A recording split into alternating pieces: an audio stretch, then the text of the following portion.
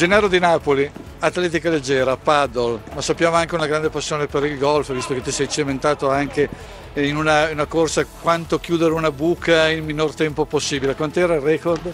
Il record è 27 minuti e 9 secondi di un mio acerrimo nemico Steve Scott, 1500 americano. No, ho fatto 36 minuti, 86 colpi alle rovedine. Eh, il golf è il mio grandissimo amore, ma soprattutto è lo sport che mi ha salvato dai guai dell'atletica leggera. Oggi ti vediamo una racchetta a paddle in un ambiente dove la solidarietà è con la S maiuscola.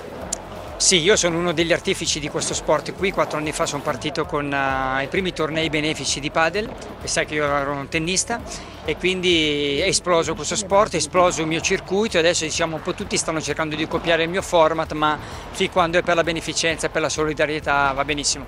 Quanto ti ha dato lo sport e quanto può dare? Che consiglio dareste a chi ci segue a me lo sport ha dato tanto ma ha tolto di più.